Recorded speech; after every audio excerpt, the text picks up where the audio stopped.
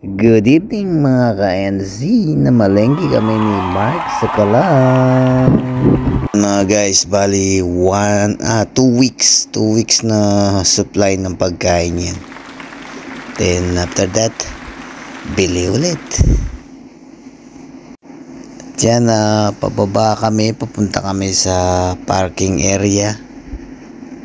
Para, ay naku, nahulog, nahulog, nahulog yung inumin.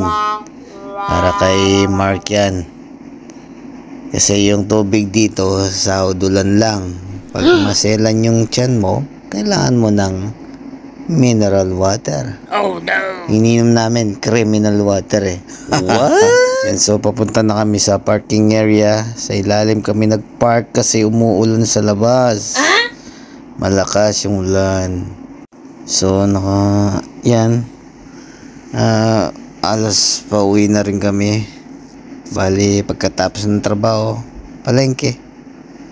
Bili, mag-grocery. Yan, itong sasakyan ko.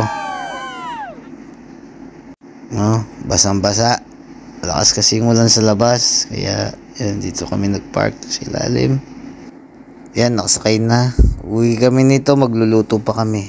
Galing sa trabaho. Punta ng, ah, punta ng town, mag-grocery. Yan buhay ng mga dairy farmers in New Zealand. Ay, ganyan- pero kahit ganyan, masaya naman. Okay mga guys, bye-bye. Bye-bye. Bye-bye.